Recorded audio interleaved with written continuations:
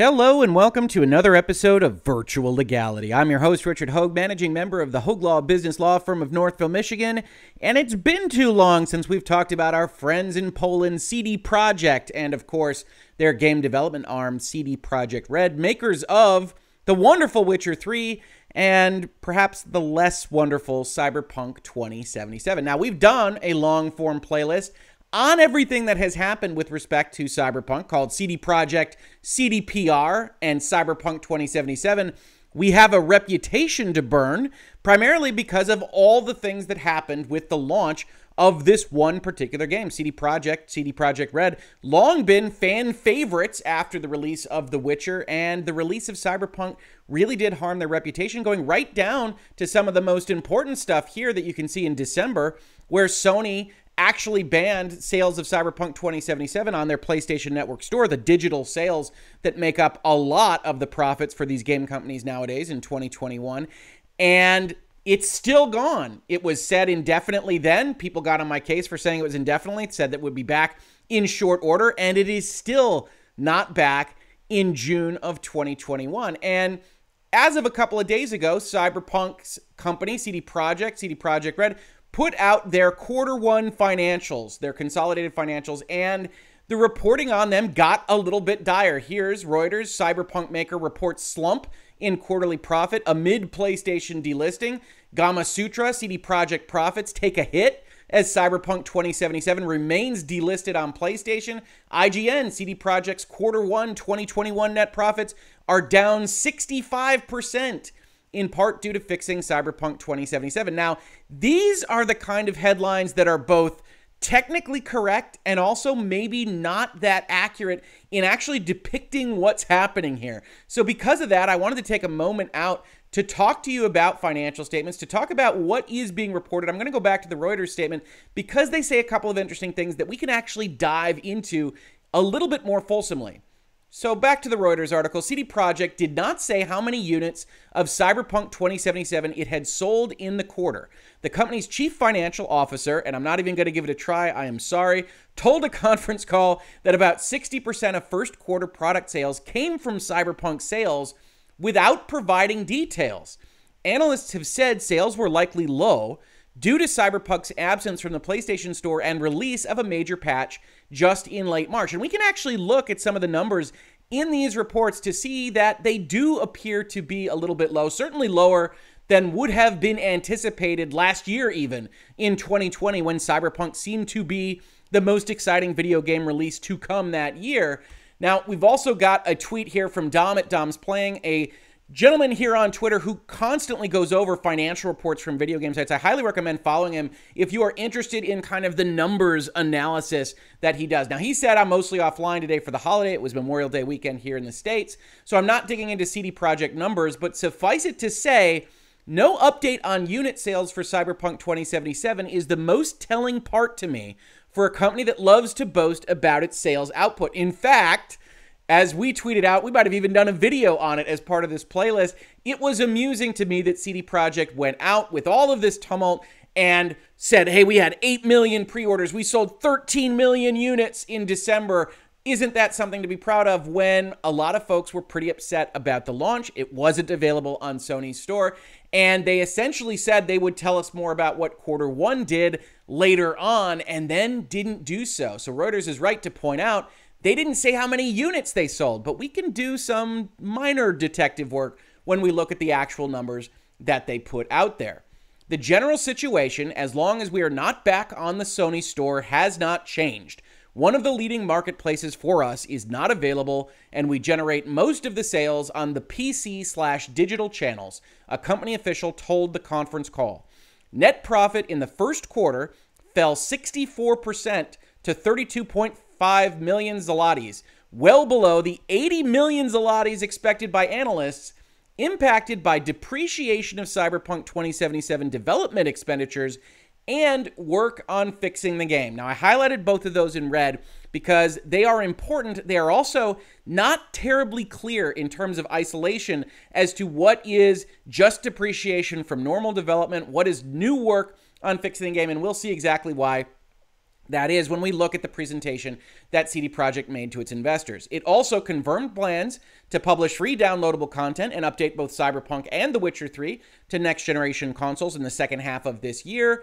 And last year, the company's shares hit an all time high of 464.2 zlotys in the run up to Cyberpunk's launch, but has lost over 60% of that value at this time, really mostly as a bounce back from their big major product not being so big and major, at least after December and going through all of those pre orders and selling those original 13 million units. So, what we're looking at now with their quarter one 2021 earnings report is what happened after December, what sales look like after that all happened. And we can see they clearly aren't the barn burning video game that CD Projekt had been anticipating, that really everybody that had watched this had been anticipating. Witcher 3 is still one of the highest selling games, most popular, things that make the CD Projekt engine move. And the question is, will Cyberpunk do that now and into the future? They want you to believe it will, so they put out slides like this. Our commitment to make Cyberpunk 2077 a long term success. Release in December. We had a hot fix, a hot fix, a hot fix. 2021 comes. We had a patch. We have a hot fix, another patch more hot fixes, and then as timelines go, this is perhaps the broadest, most not useful that we've ever seen here in virtual legality. It just says free DLCs, new gen edition coming in half two with multiple patches and updates. Okay, small additional content, maybe sometime here, then proceed to next year, multiple patches and updates. We are not even being as specific here at CD Projekt as we were with our already somewhat vague timeline that we put out at the end of last year and the start of this one. So it's a little bit vaguer, but even more interesting to me is that the next slide that they put out to their investors was the Cyberpunk 2077 stability improvement that shows crash rate for the game going down from something to something else. Now, in most ordinary states, you'd assume, okay, this crash rate's very low and it goes to something very lower. We have no idea what this represents other than it goes down over the course of the year, which you would hope would happen in almost every video game context. This appears to be trying to elide some important things that CD Projekt is presenting to its investors. Also, I'm not quite sure on the timing of these lines here, right? It certainly looks like they have instances where performance gets a little bit less stable, and it's not that unusual to see that when you change something in the code. But you also have things like hotfix 121 happening at the peak of instability when in all likelihood it's probable that this actually precipitated this instability that you see these peaks whenever one of these pops up and it doesn't quite line up right, but we can't tell because the x axis is just these big long month chains and the y axis is nothing. It's just crash rate. And so we can't tell what it is. And in a company that's being sued by its shareholders for not being honest with its investors, for a company that's really under a lot of spotlight from gamers and media industry pundits alike, this isn't the kind of thing that you want to go out there. We talk about corporate messaging. They're clearly trying to get in front of some things. Hey, we're still working on Cyberpunk. We're not throwing it in the bin. Hey, it's getting better, but we can't give you specifics on what we're doing, and we can't give you specifics on how it's getting better. That's not great messaging. And unfortunately, that appears to be what CD Projekt is left with. And I think part of the reason why you get some of these headlines that say, you know, CD Projekt is in free fall. I gave a thumbnail to this video that says, are they in the red? Meaning, are they losing money? Now, we'll see. They are not losing money. In fact, things have gone okay. And we'll skip past The Witcher. Looking forward to seeing that on next gen. To get to their numbers and why they are potentially problematic, but not the catastrophe that appears to be re- represented by places like Reuters and Gamasutra and IGN. So if we look at this, we've got a year over year comparison of quarter one in 2020, before Cyberpunk came out, and 2021. And you see, the big problem if you're CD Projekt right now is that this didn't have a significant bump. Right? We're going to talk about how it's even worse than that as we look at the rest of these numbers, but comparing 192,000 thousand uh, and 197,000 isn't that big of a difference for what should have been a major release that happened before quarter 1 2021. This should be significantly higher if you're planning your company around major tentpole releases, as CD Projekt did. Witcher 3 over to Cyberpunk 2077, and really, your quarter one after the release of Cyberpunk doesn't look that different from the quarter one before the release of Cyberpunk. And that's where you get into problems. It's not that you are immediately underwater. It's not even that you're taking on water. You're still making money. Your net profitability is still a positive number, but you didn't get this bump that you thought you would get. That's why your shares go down because the market is anything is predictive of what they think is going to happen. And if that doesn't happen, then it goes down to reflect what it was. It's going to go down to reflect that Cyberpunk effectively came out, made a lot of money in one month, and then maybe never did anything substantial again, that your number really didn't change for expending all this money over the course of seven years. That's the story with CD Projekt. Not are they going under, not are they out of money, but did they effectively waste a decade or at least the better part of a decade making something that didn't actually increase their profitability or their bottom line? That's what we should be following as we look at this. The other major thing we should be following is what is reducing the profitability here? Well, it's in this cost of products, services, goods, and materials sold. If we look at what the cost of products and services sold is, it went from 7,000 up to 23,000 or a 208% increase year over year from 2020 to 2021. Now, if you're not an accountant, and I'm not an accountant, lawyers, as I like to say here in virtual legality, know enough to be dangerous about numbers, math, and accountant stuff of all kinds, then we need a little bit of help to understand what they are actually saying here. Fortunately, we have a big fancy financial report that CD Projekt actually put out that talks about this issue.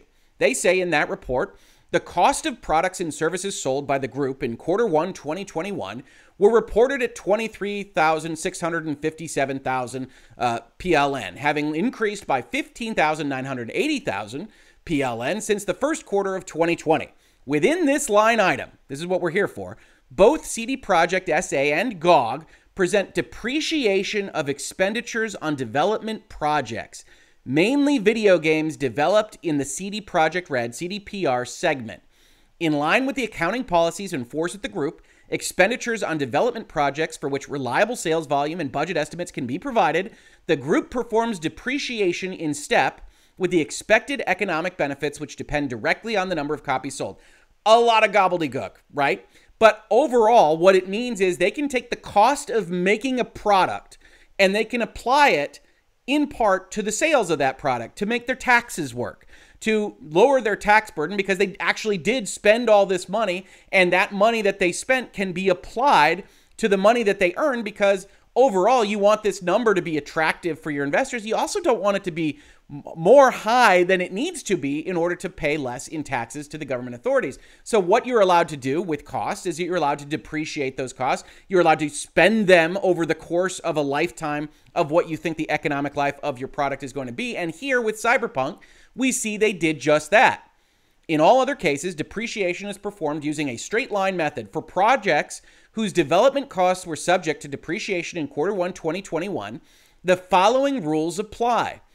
40% of Cyberpunk 2077's development expenditures was recognized as costs in the release quarter, while the remaining 60% will be depreciated throughout a five year economic use period at 3% per quarter. So, the cost of actually making Cyberpunk is charged against the cost of selling Cyberpunk. So, this number didn't move. That's a problem for CD Projekt. This is a normal ish expense for making a big, expensive video game. This is what drives the net profitability number down to the 16% range or the 23% range, down from 47%, where essentially you were making money because people loved The Witcher, but you weren't making Witcher stuff. And that's always going to increase your profitability, which is your revenue versus your costs, because your costs aren't being applied to The Witcher anymore. You just made something that has that long tail. It's another reason why we see in gaming so often games as a service and all these things that are aimed at a long tail. Because if you can recoup that development expense over a long period of time, what goes up? The return on investment, the net profitability. And so in quarter one 2020, CD Projekt was doing gangbusters because people loved them, people loved The Witcher and they weren't spending cost in order to get this money. They were, of course, spending real cash dollars, but the plan had always been to attribute that to the sales of Cyberpunk itself, which is now what's coming home to roost and will for the next years of Cyberpunk's life, which means that'll be a depressing force on the revenues actually made by CD Projekt and a depressing force which they had anticipated would be covered by cyberpunk sales and longevity but which remains an open question. So what we've got here is a situation with CD Projekt where they're not in the red, they're not even close, but the long-term prospects for CD Projekt very much depend on whether Cyberpunk actually continues to sell. It's never going to sell like it did in December of 2020, but can they resurrect the thing? And I think the best exit ramp for that resurrection, the best possibility for all of that is in the next generation release. That's why you see it referenced here at the top, where you say, just to confirm, we've got a next gen edition coming in half two. And I strongly suspect that that would be the time when Sony would allow them back on the store, presumably to show off the PlayStation 5 and ray tracing and to explain how we're all good friends and kumbaya, especially when we can all make money. And if CD Projekt is smart about their marketing, they might even treat that as effectively a second launch. I was actually having a conversation with someone else the other day, and I was talking about the fact that, you know, if they had just named it beta or early access or anything else that we see in either PC space or even the console space on rare occasion with things like Fortnite, I think they could have got away with all of this and said, well, we really want to get it in your hands because it's feature complete, but it's not quite done. We're going to need another year, but if you're really interested, go buy it now, and we appreciate your feedback. I think that probably would have worked. Why they didn't do that is anybody's guess. Certainly, Sony probably would have been an impediment to actually having that. But Sony likes its holiday money too, so it would be interesting to see the alternate universe in which CD Projekt tried that. But the real takeaway point from all of this is that this number didn't move enough in order to make Cyberpunk really make sense. This number is pretty normal Although, when you actually dive into their statements, and I'm going to also link to another follow that I recommend on Twitter, Game Over 30, that talks about financials and business and law, and I'll probably have him on the channel at some point in the future that I highly recommend. He points out that if you actually go and you look at their statements, they say they're sticking with Cyberpunk, and this depreciation is the real story. Lower than usual net profitability is mainly due to continuing depreciation of Cyberpunk 2077 development expenditures, work on updating the game, and R&D activities related to future projects. Now, he combines a whole host of things here, which is what's interesting when you look at these numbers. These are combined here as well. Sure, you've got this 208% of cost of products and services sold going up to service Cyberpunk, but you also have increases in selling costs and administrative costs and things that relate broadly to refunds, right? Equity and liabilities. You had long-term provision liabilities as of December. Those appear to be netted out here subtracted. And then you have these short term provisions for things like the help me refund and other things that are showing these changes in your equity and liabilities that all get combined into a number about how you're servicing Cyberpunk 2077, which means the normal development, the refunds, the stuff that you're spending that you wouldn't have anticipated spending on actually fixing the thing, even on phone calls and Zoom calls and conferences with Sony to get it back on the store, are all being charged in a way that combines that we can't really see what piece is normal and what piece is abnormal from a launch like this. But you do have CD Projekt saying the right things here. We intend to live up to what we promised our gamers in January. While we already see major improvements, a large part of the team continues to work on making sure that Cyberpunk provides even better entertainment to gamers. At the same time, we are rolling out initial changes related to the internal transformation of our studio. This is a long term project, but we regard it as essential if we are to efficiently develop two large AAA games in parallel. So, not only is all of this happening with Cyberpunk, not only did it not really move the needle year over year, quarter over quarter here, but they're also engaging in a transformation where you will see some of these charges, where you will see that they're very happy to get all of this cash flow from releasing Cyberpunk in December, and it might be a part of the story that they wanted to change their structure so significantly that they needed this amount of cash to do it. But when we actually go and we look at what it means for the company, it's all going to be cloudy and vague and difficult to piece apart because they're also going through a major transformational period. And I can't say that they're wrong to do so. I don't know that having a tentpole release that doesn't move the needle is any way to survive as a company. So you at least need to get more of those lottery tickets, as you might heard me describe before, where you got a AAA game, you're spending all this money. The more tickets you can buy, the better the chance of success in keeping your company afloat. And so I don't deny them the strategy of having two separate foundational teams making video games within your studio, but it does make it very hard to analyze. And it makes it so that these headlines and even the stock market and investor reaction to them don't tell the whole story. So I am still very interested in what's happening with CD Projekt. I'm still very interested in how Cyberpunk got released in the fashion that it did, how communications went from CD Projekt to Cyberpunk fans in December and now through the first half of 2021. But at the end of the day, they are not dead. They are not close to dead. If their numbers are any indication, they're as flush with cash as they've ever been. Whether or not you think that was properly earned, they certainly sold a lot of copies of Cyberpunk in order to get them to this place. I'm very excited to see Witcher 3 in next gen, and I'm very hopeful to see a cyberpunk that realizes at least some portion of the vision that they sold to so many at many, many E3s. This has been Virtual Legality for today. If you enjoy this content, business and law, talking about video games and pop culture from a different angle, please consider supporting the channel through Patreon, Streamlabs, buying something from the store, or just subscribing, ringing the bell, upvotes, downvotes, leaving comments, telling your friends, telling YouTube, Reddit, forum posts, wherever that we are here and having these conversations. Every single little bit helps. If you caught this on YouTube, thank you so much for watching. And if you listen to it as a podcast, thank you so much for listening. And I will catch you on the very next episode of Virtual Legality. Virtual Legality is a YouTube video series with audio podcast versions presented as commentary and for education and entertainment purposes only. It does not constitute legal advice and does not create an attorney client relationship. If you have legal questions,